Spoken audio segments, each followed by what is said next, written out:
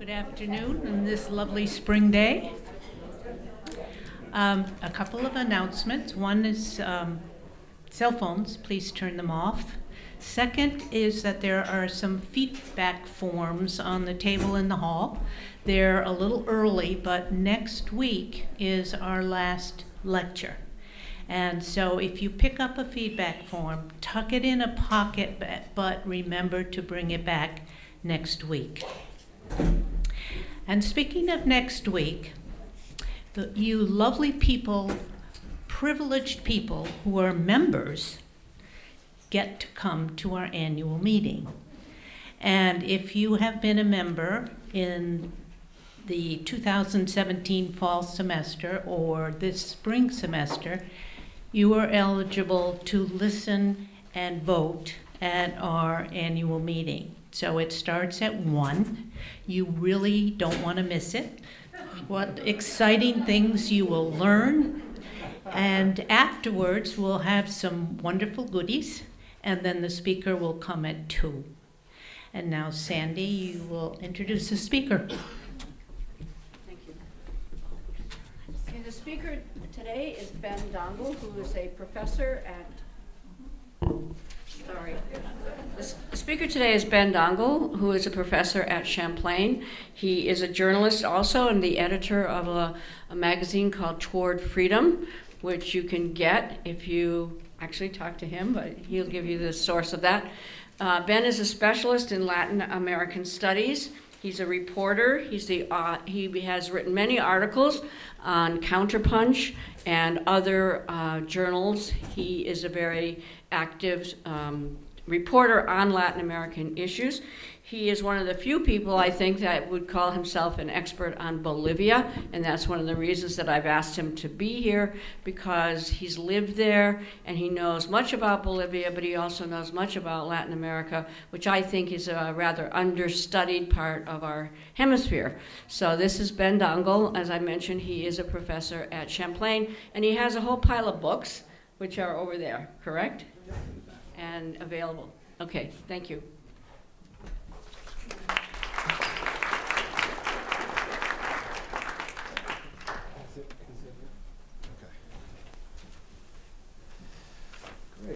Um, you can all hear me well?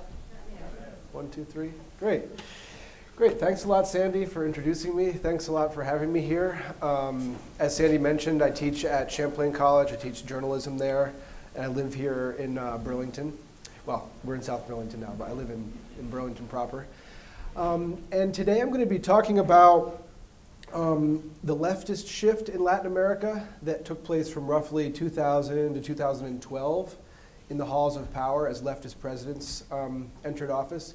And then uh, more recently, the rightward trend in, um, in government around Latin America from pretty much 2012 onward.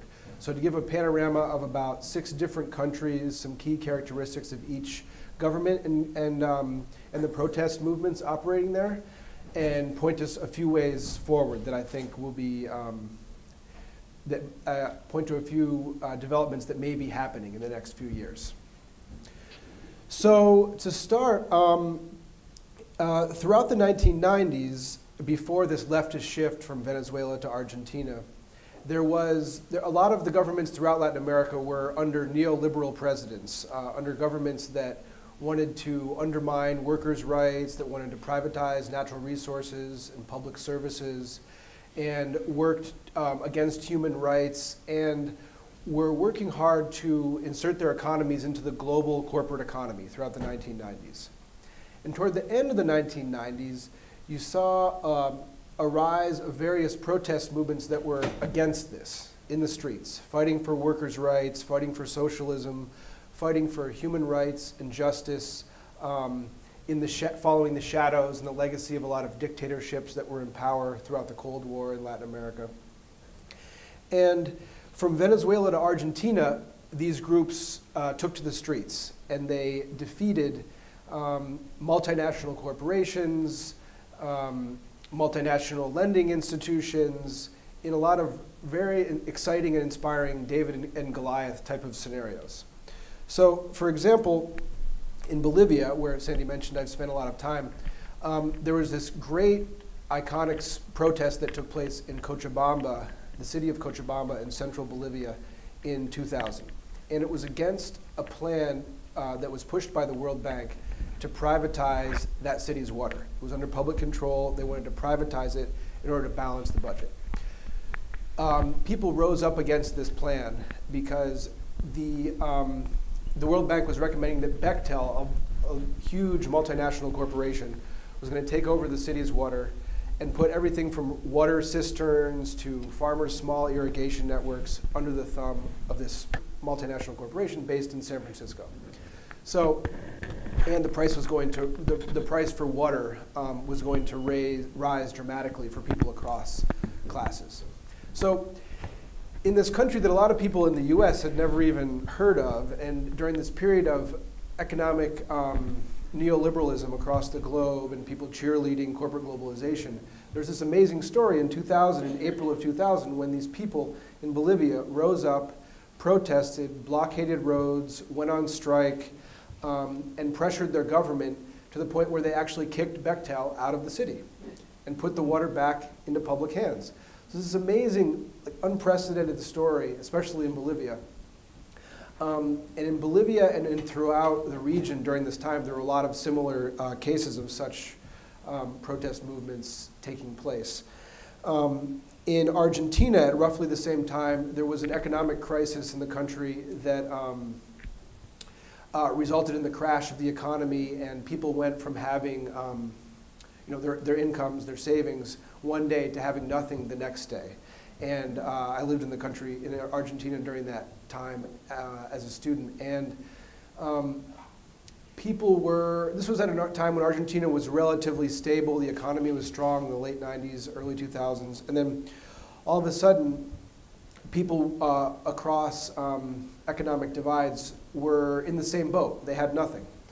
And they, again, in this place, took to the streets, protested. They went through, I think, six presidents in two weeks, um, and uh, occupied. Um, uh, when, when their factories and businesses went bankrupt, which many of them did, there was a stipulation in the Argentine constitution that said that if people, um, if, a, if a company went bankrupt and the owner fled the country, the workers could take control of the business uh, and form a cooperative, and a lot of people did. A lot of these workers did uh, literally occupy ceramic, um, textile factories, hotels, book publishing companies, um, and turn them into workers' cooperatives. So that was really another exciting um, example of this grassroots politics during this time.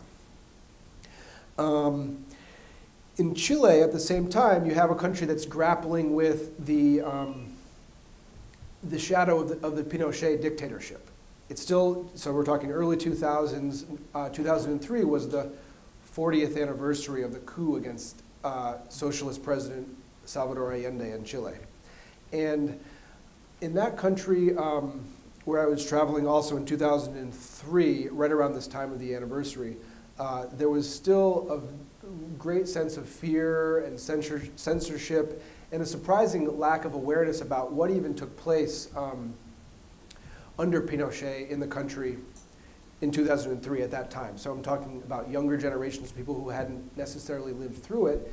And I was coming to the country um, having read a few books about Pinochet and, and, Allende, and I sometimes knew more simply because I lived in the US and were, was able to read um, books based on declassified government documents and watch some documentaries about this, but I went to Chile and I, and I was just really struck by um, the hold that the dictatorship's culture of censorship and silencing people still had. So in, in 2003, there was still this great, this, this awakening was still happening about how do we come to terms with the crimes of the dictatorship. There were some 3,000 people that were disappeared and murdered um, under the Pinochet dictatorship.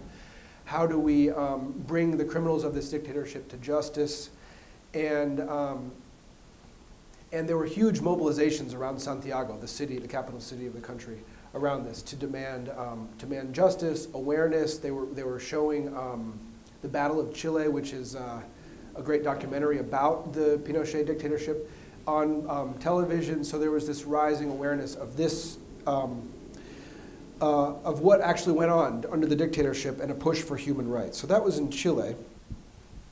In Brazil at the same time, following this, um, uh, this regional kind of awakening and grassroots push, there's this group that became more and more powerful over this period called the Landless Workers Movement, the MST, in Brazil.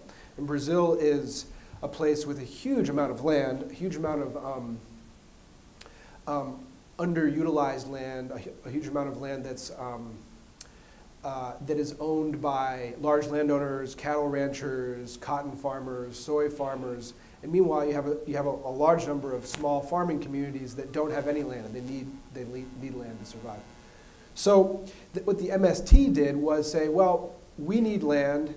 Uh, we, need, we want to work the land. There's all this land in Brazil. We want to take it over and, um, and, and own it for ourselves. So they operate under a slogan called Occupy, Resist, Produce. So they would take over land, resist the eviction of, of themselves from the land by the police and thugs and paramilitaries, and then start working the land. And also here, there's a, there's a, a part of the um, constitution in Brazil that I think was reformed in the 1980s that said that if there is underutilized land that isn't serving any social purpose, um, peasant farmers can take it over and actually work it. And, and it takes a lot of uh, legal work to actually gain the ownership, but under that slogan of occupy, resist, produce, um, the landless workers movement has settled hundreds of thousands of families on land across Brazil.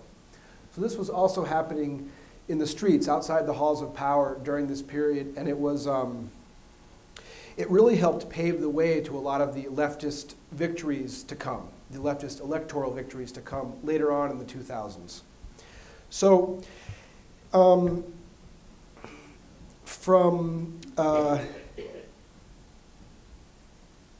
so these are some of the these are some examples of grassroots movements, grassroots victories. But what was also so notable about this period, from roughly 2000 to 2012, as I mentioned, was out of these struggles, presidents, political parties, electoral um, currents came to win power from Venezuela to Ecuador to Brazil to Chile and Argentina. So, first, in um, Venezuela in 1999, uh, Hugo Chavez was elected president. And he was, was, um, came from a poor background, uh, military background, and from the very beginning had a populist um, political vision that he wanted um, to, to, um, to govern towards. And as his presidency evolved, um, by 2000, after they'd passed a new constitution, he, his government made a lot of very progressive changes in the country um, that helped redistribute political power around the country, redistribute economic wealth. And Venezuela is a huge oil producer, has a lot of crude oil.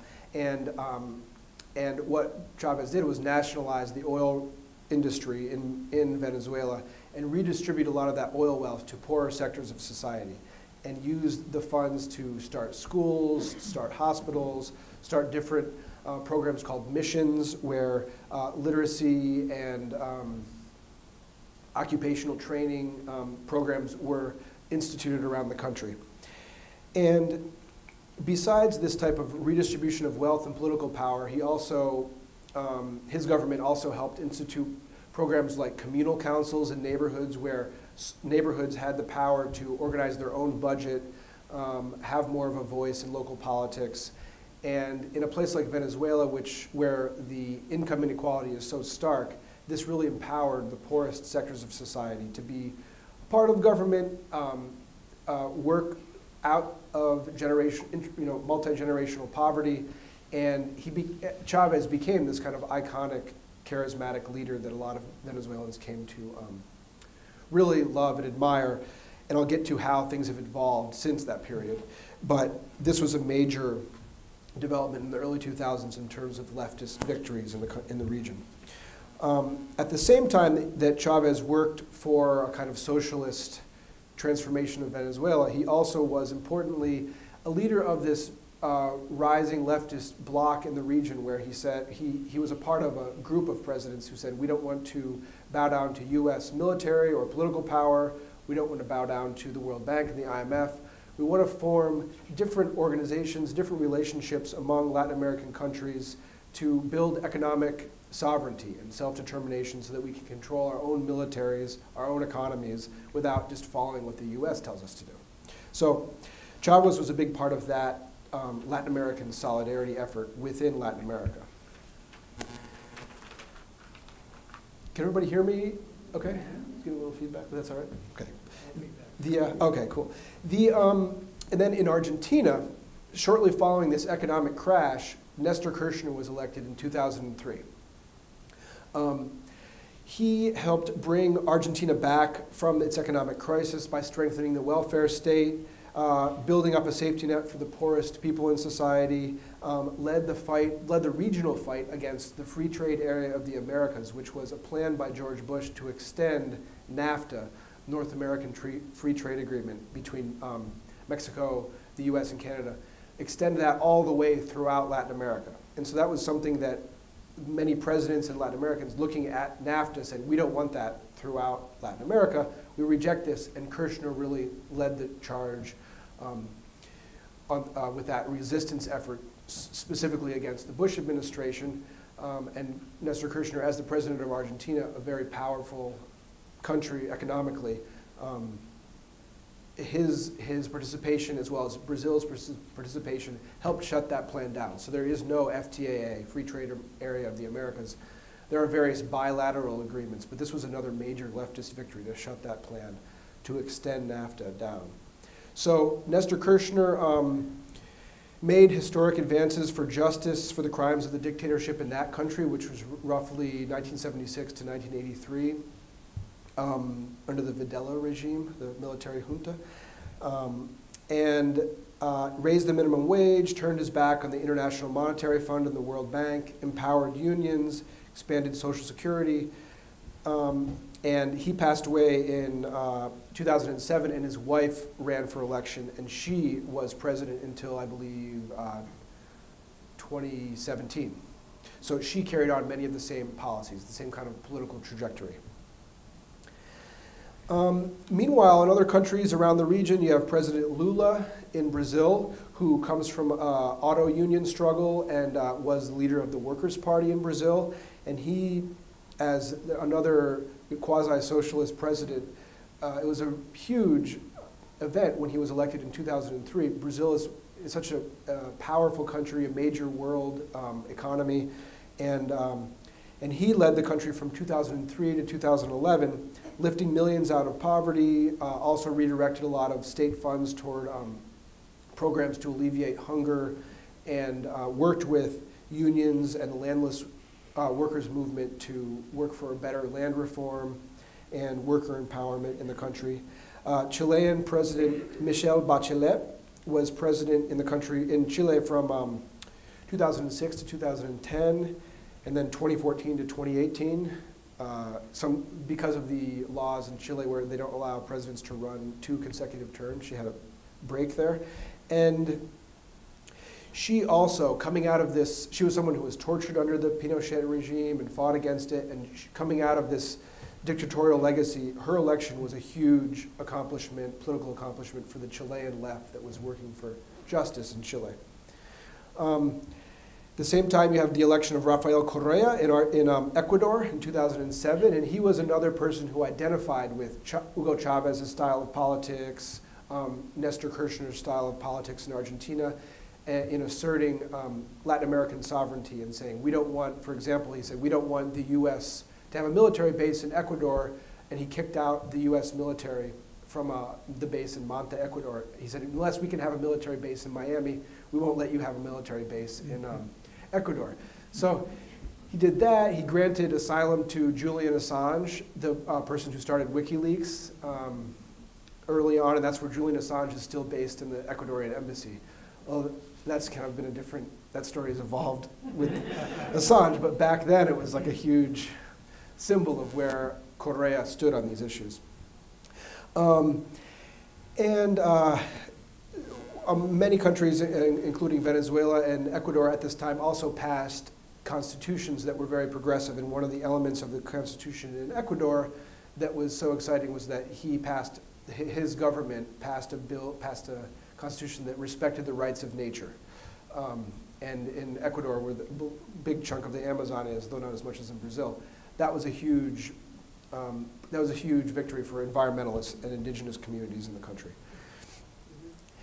Um, and meanwhile, in, in uh, Paraguay, uh, Fernando Lugo, uh, bishop and practicer of liberation theology in Paraguay, was elected, I think it was 2009, and he moved forward on important land reform in the country, also helped to prosecute um, people involved in the dictatorship in that country, and Pepe Mujica in Uruguay was elected um, uh, on the Frente Amplio party, and he was um, also somebody who was tortured under the dictatorship in Uruguay, worked toward justice in his country.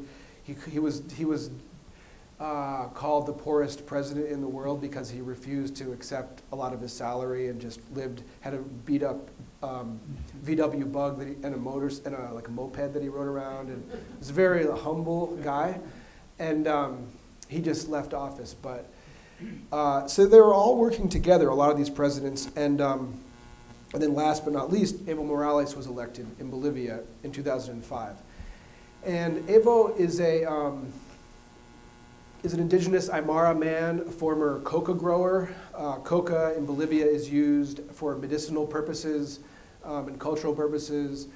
It's, uh, it's also a key ingredient in cocaine, so it's the focus of a lot of uh, drug, anti-drug efforts. But in Bolivia, uh, coca goes to a legal market where a lot of people um, buy coca to chew it with, uh, in the mines. Um, Bolivia is a huge mining country.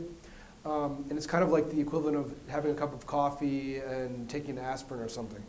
And people, people chew it, drink it in tea, and it's used in, in different Andean uh, indigenous ceremonies. So the, um, the leaf went to this legal market. Evo Morales came out of that sector, that peasant production sector, as well as that uh, coca growers movement, which resisted the U.S. militarization of coca growing areas uh, in the war on drugs for so many years the U.S. and Bolivia focused their efforts on the violent eradication of coca crops.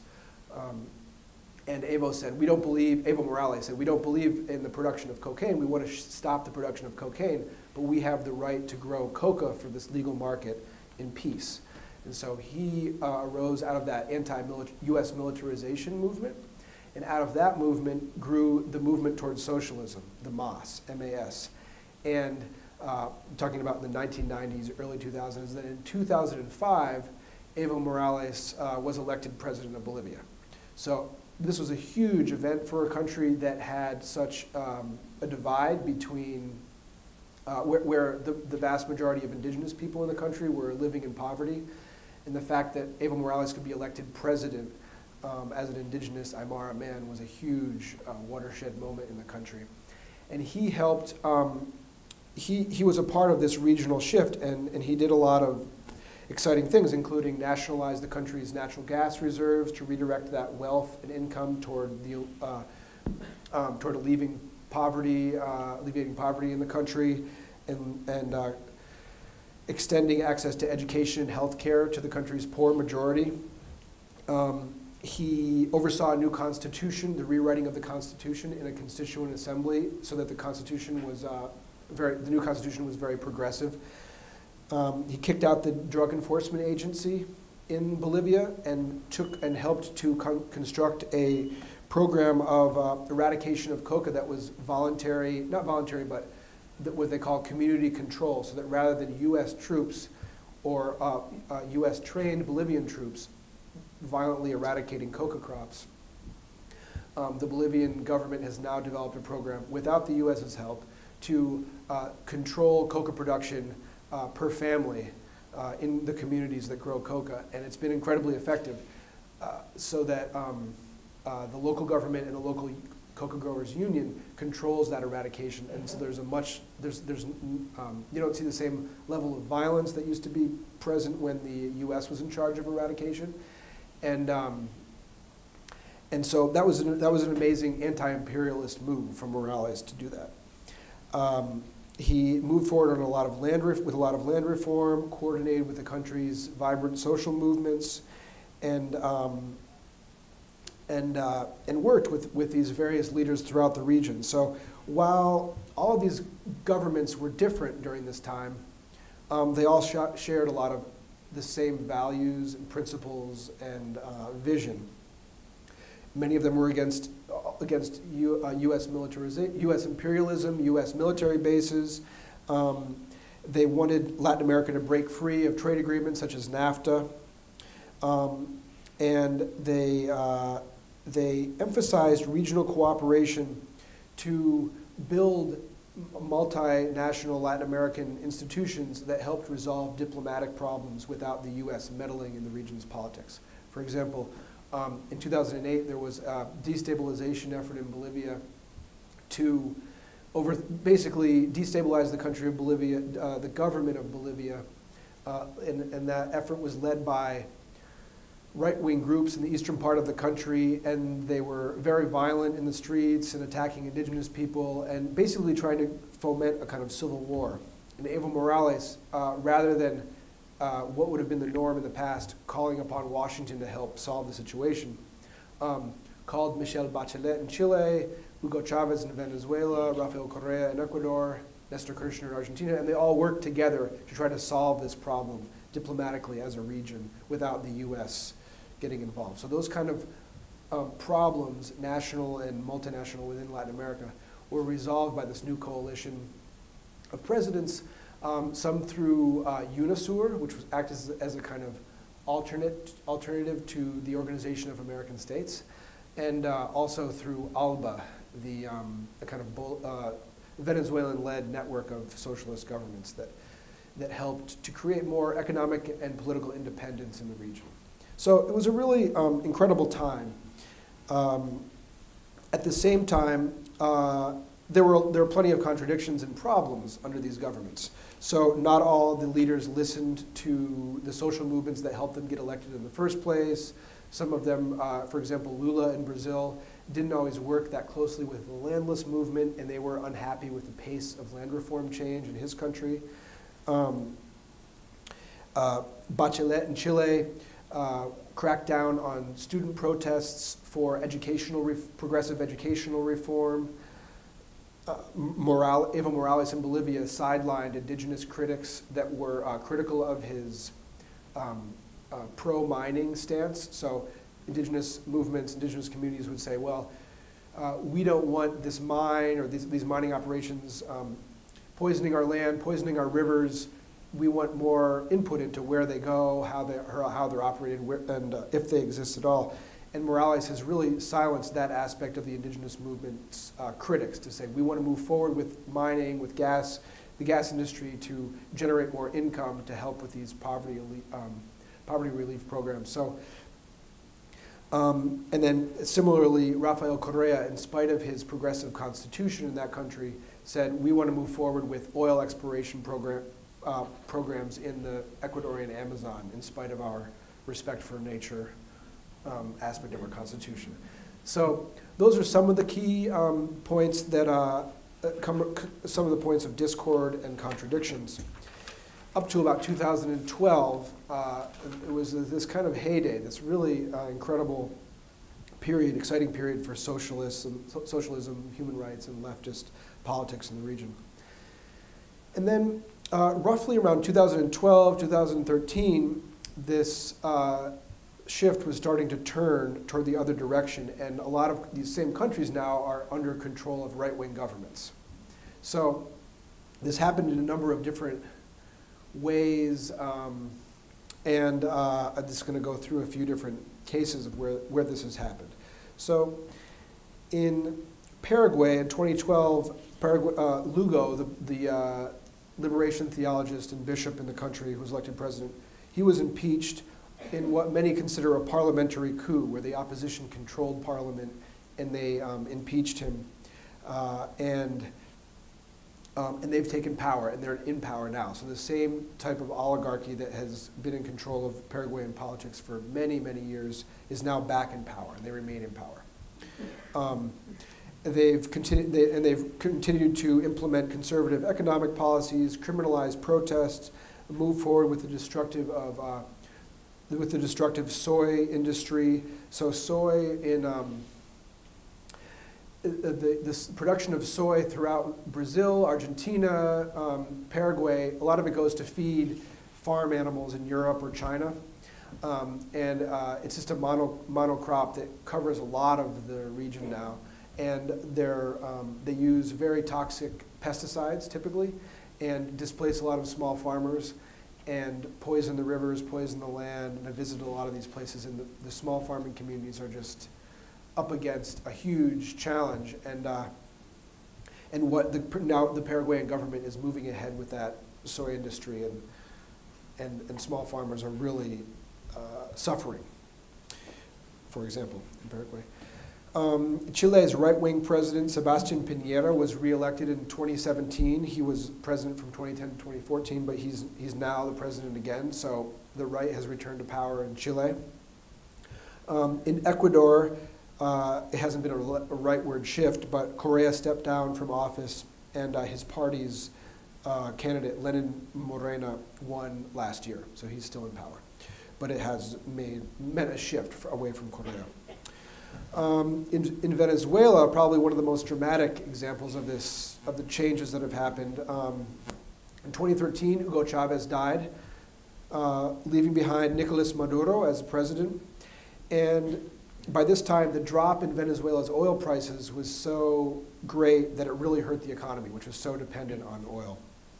Um, right wing destabilization efforts uh, really weakened the government's um, ability to to, to govern. Um, at the same time, Nicolas Maduro has repressed a lot of dissidents, repressed a lot of the uh, opposition in the country. Um, opposition leader Capriles was denied from, was, was prevented from running for office for corruption charges. Um, the, um, at the same time, uh, Maduro has tried to meet this economic crisis by not bowing down to the IMF and the World Bank and but instead uh, creating um, neighborhood groups to help with the distribution, distribution of basic food and commodities at low prices to help offset the problems of the economic crisis. Um, and, uh, and he's, um, and he's, and he's, he's working with, um, you know, working to continue the legacy of Hugo Chavez, but there's been so much conflict in the country the economic crisis is so great that um, a lot of the progress has been coming to a halt, and there's been a lot of violence in the country um, through different political factions. Um, in Bolivia, uh, Evo Morales is planning to run for a fourth term next year. So, kind of an interesting situation in the sense that he he um, there was a referendum uh, last year that said, you know, where he said to the population, should I run again? Do you want me to run again? Can I change the Constitution to run again uh, for a fourth term? The referendum said no. He's going ahead, uh, and he went to the Supreme Court and asked them, you know, and he has appointed a lot of the judges on the, on the Supreme Court, and they reformed the uh, law and said it would be okay. So there's a lot of um, opposition to this plan, in spite of Morales' popularity, a lot of people, even among his supporters, believe that it's time for a change to a different administration, a, different, a chance for different parties to uh, rise to the top or different candidates in his party to rise to the top. But he's planning to move ahead, so that election will probably take place um, with Evo participating next year. And this is likely to be a source of a lot of conflict in the country. Um, at the same time, in Bolivia, the GDP, the economy is very strong. GDP is growing. There's a lot of uh, stability in the country. Uh, but again, there's this there's a similar, as I mentioned, uh, a crackdown on dissent, a crackdown on critics that are critical of, of his of Evo Morales' party and also his uh, his moving forward with massive mining and oil and gas industries that are um, displacing indigenous communities across the country.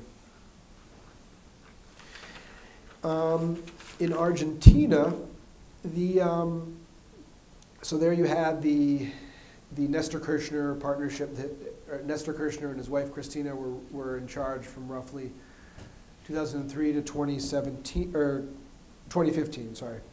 And um, uh, when the businessman Mauricio Macri won the elections. And this was the first time a right wing president was democratically elected in the country in 100, nearly 100 years.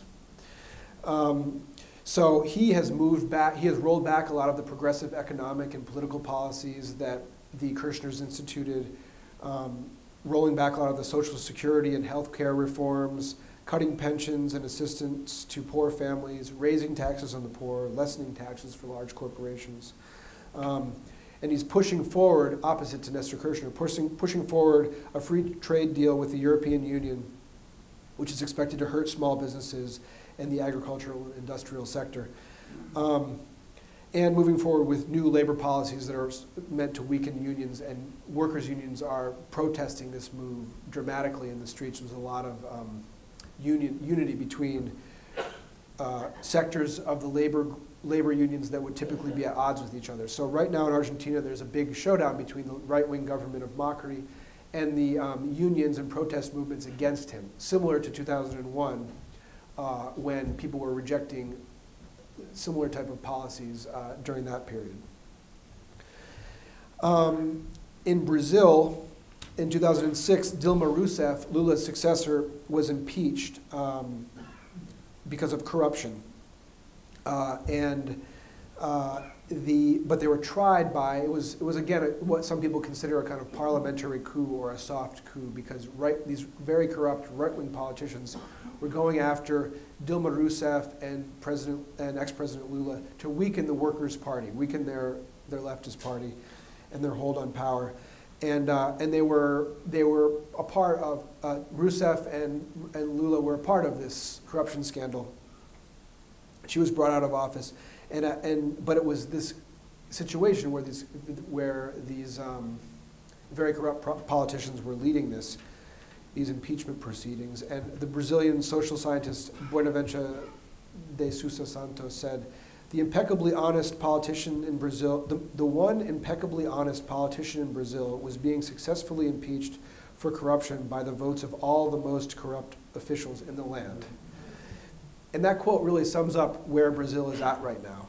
Um, to the point where just last week, Lula, the very popular president, was just put in jail by this government um, of uh, Michel Temer.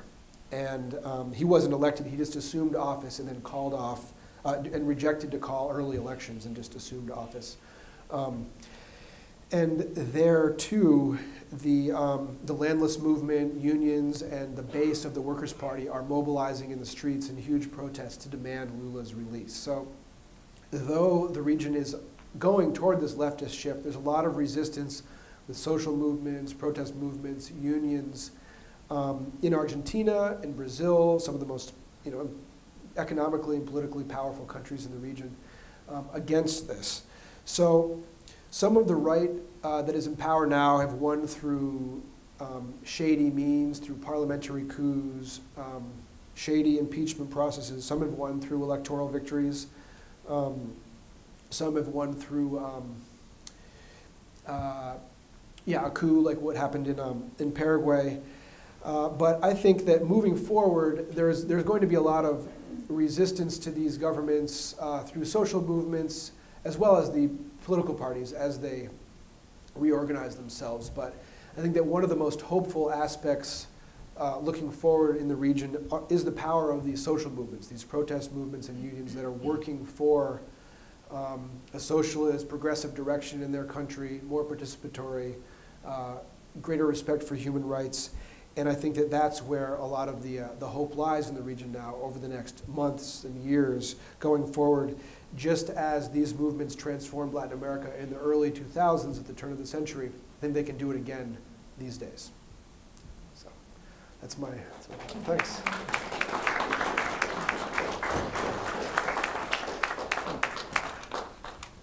So I'm happy to answer any questions. Um, you know.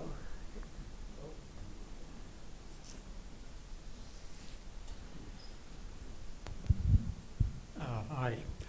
Um, I find it hard to believe that I heard a lecture now on politics. Hmm? Hold the microphone. Oh, I'm saying that I find it hard to believe that I heard a long lecture now on South American politics without any mention of the CIA.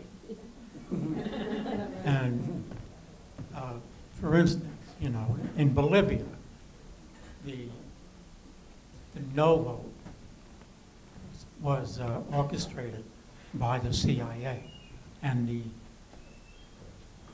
you know, the latifundia, we call them, Mhm. and so on and so forth, all throughout Latin America. Mhm.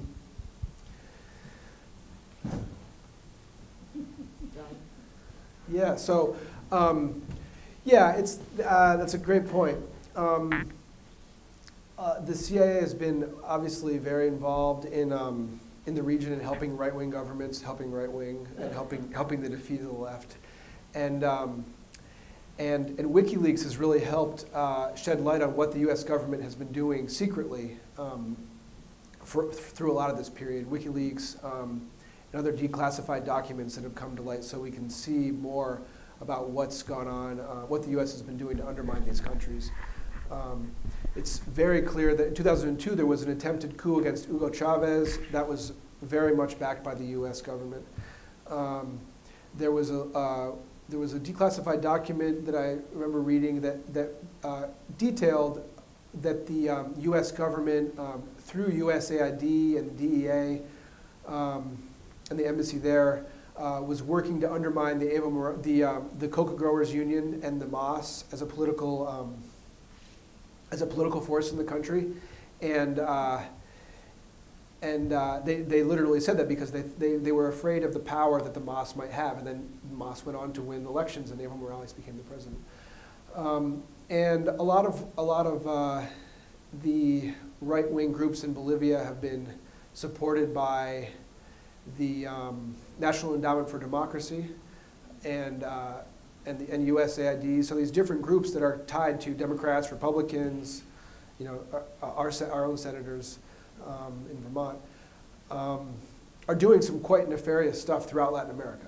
And some of what the CIA used to do covertly, now groups like the NED and USAID are, do, are doing overtly to dis, uh, directly fund um, opposition candidates, opposition uh, politicians, whether it's in Venezuela or, um, or Bolivia. So that's a real, a real issue.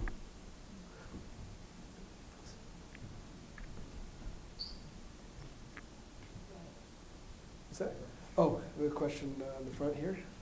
Oh, oh I didn't see it. Uh, You've left out any mention of Colombia Mhm. and Peru. Mhm. Are there any notable events happening in those countries? I would think so. Mhm. Yeah, um, yeah, I meant, uh, uh, let's see. So they weren't a part of the same kind of leftist shift. Um, they've, they've remained largely uh, the same with some notable exceptions.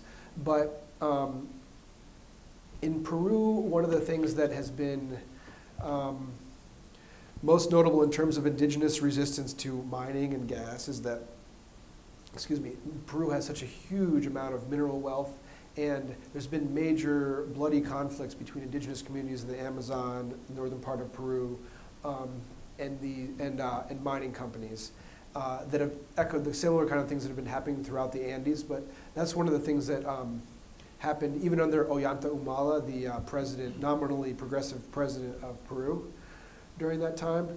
Um, and Colombia is a very important country in the region in terms of um, you, historically in terms of U.S. Latin American relations, and uh, and historically because of the drug trade.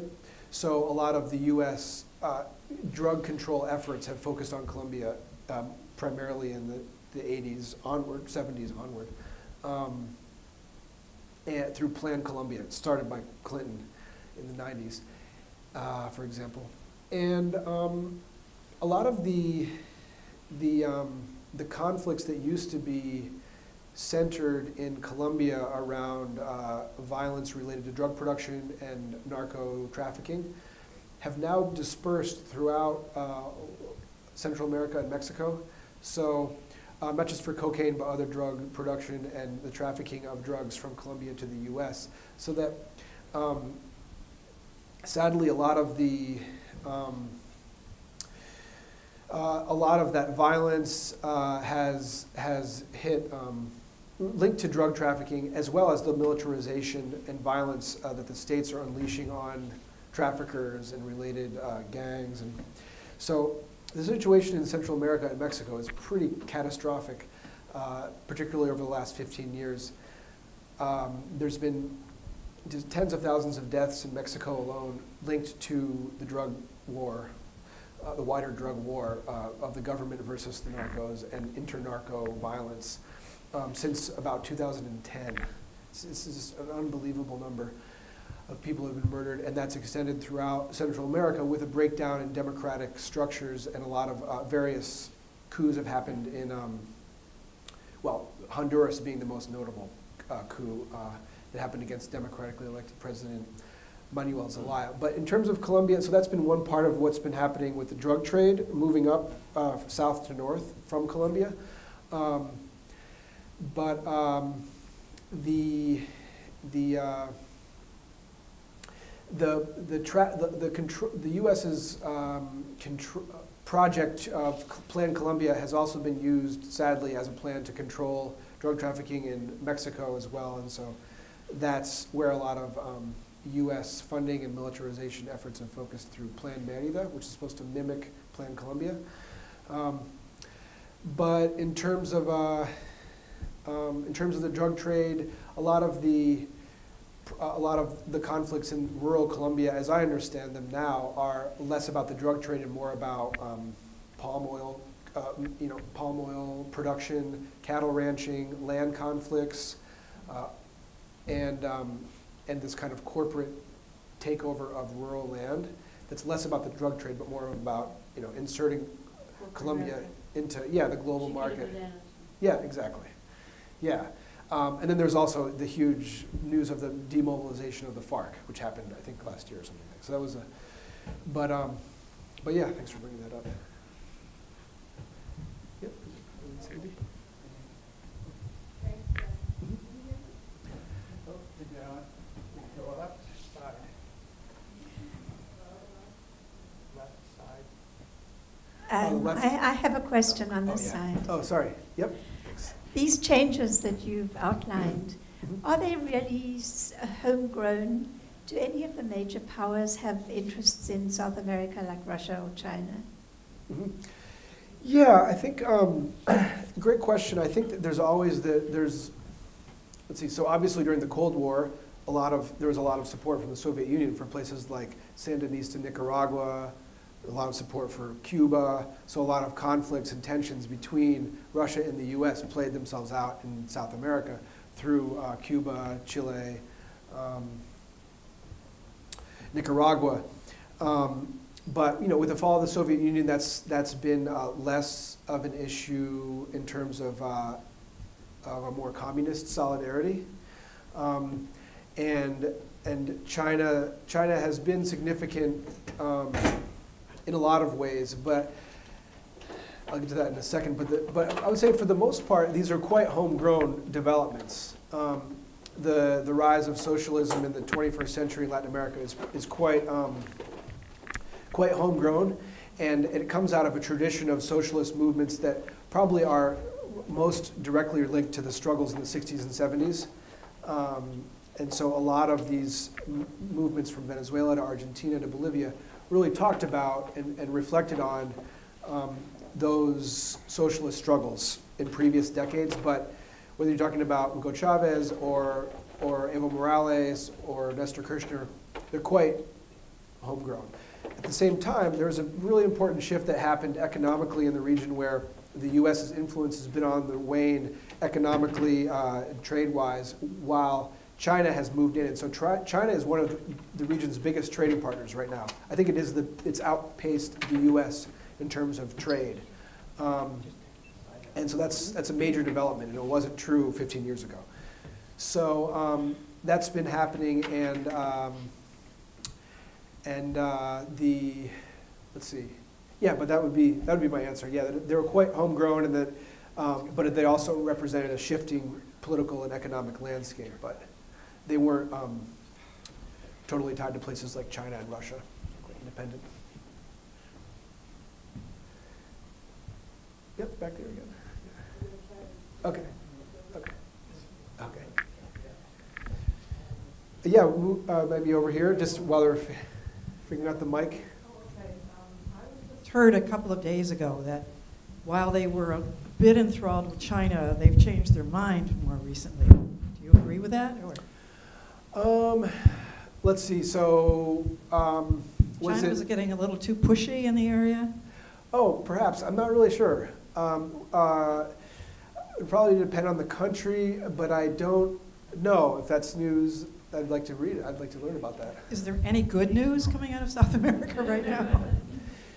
Yeah, I think. Um, yeah, I mean, a lot of the, a lot of the gains of the of the, the first of the like 21st century socialism or the pink tide, whatever you want to call it, they can't be erased with one new president because an entire generation in a lot of countries um, went through went to the doctor for the first time or had uh, you know life-changing eye surgery for the first time or um, a new generation of people are capacitated in, in terms of getting new job skills or are literate um, healthy uh, have land have jobs have homes that were provided for them through this through these governments um, and so that kind of change, I think, will last for a long time. And that was the, always the hope with a lot of these governments.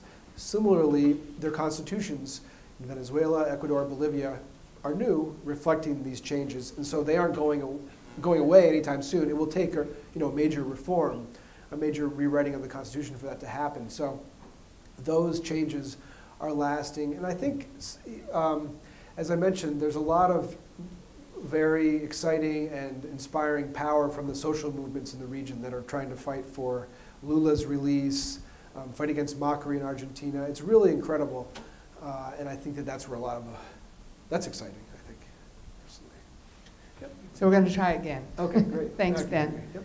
Uh, I'm just curious, you know, with, with all of these countries, both in South America, our own country, and also in Europe, with all these right-wing uh, governments being elected, um, have you had a chance recently to be in South America? And if so, what part? And what are South Americans asking you about our government? Mhm. Yeah, it's always interesting. I mean, I think I was in, yeah, I, I sometimes uh, when I was in Bolivia, when I was in Latin America during the Bush years, I learned a lot about my own government from being outside the country, and especially about U.S. foreign policy and uh, role in different coups and dictatorships. So it was a big education that I didn't expect. And um, and yeah, I think that there was a lot of, so I mean, I've traveled in Latin America pretty much every year since 2002, and last year was in Bolivia. I think that was the recent time, uh, most recent time. And um, yeah, and let's see, generally people were very excited about the Obama administration uh, and the hopes that it inspired. Um, and there were a lot of exceptions where his policies didn't actually work out that well, like Hillary, Hillary Clinton as the Secretary of State oversaw the coup in Honduras and Paraguay. Um, and, the, and the government, and the Obama administration turned a blind eye to the, the soft coup in Brazil. Um, you know, so there are a lot of clear signals uh, from the Obama administration throughout his time in power that the U.S. government wasn't changing too much in its policies toward Latin America, you know, from the Bush years on. But, um, but generally, people were very, um, you know, glad that Bush was gone, and and excited about Obama. And I don't think anybody anticipated that Trump could ever be president. that ever, that ever, that who I ever uh, spoke with.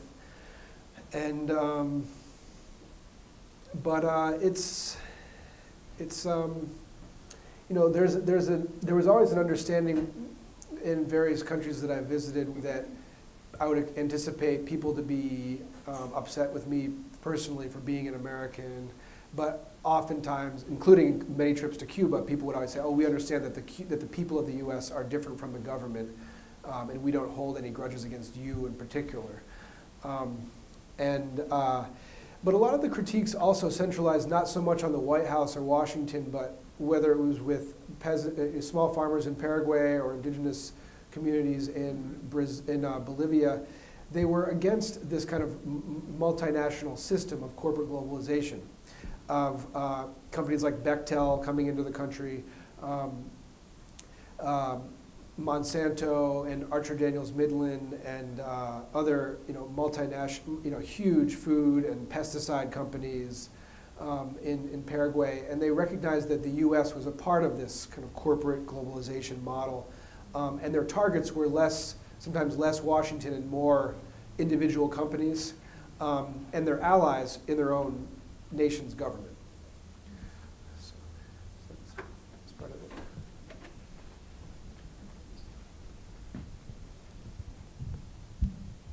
Hi. Um, What are the population trends in South America? And uh, do they affect any of the rest or unrest or political situations?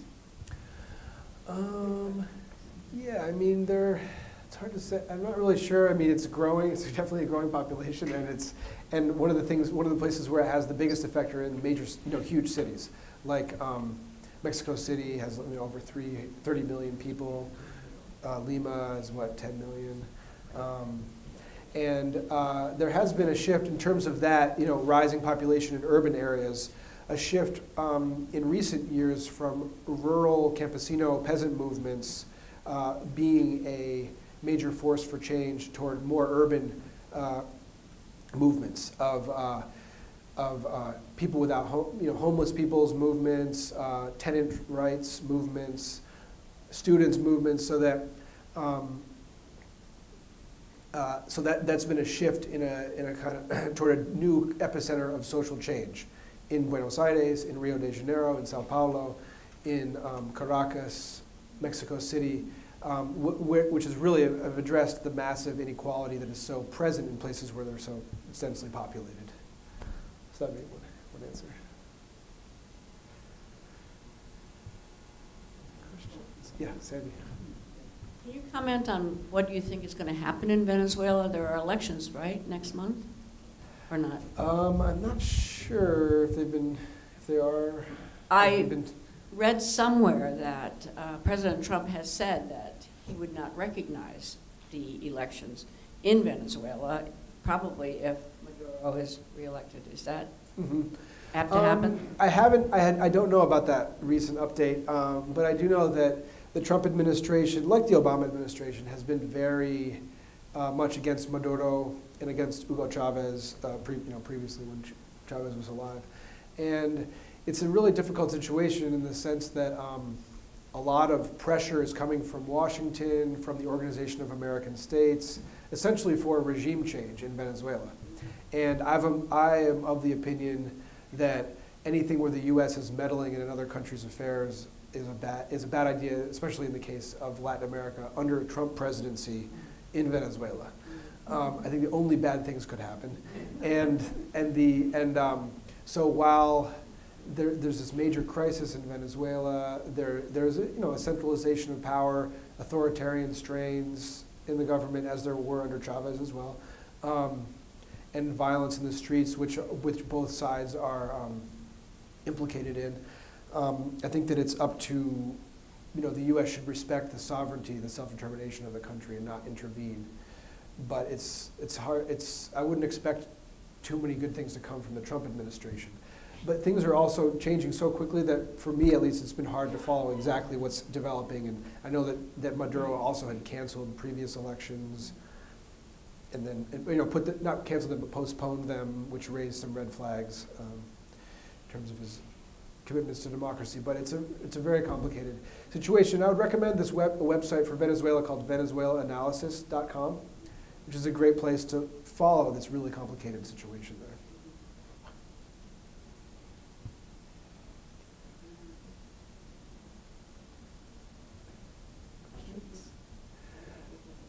Okay, great. Well, thank you very much. Thanks a lot.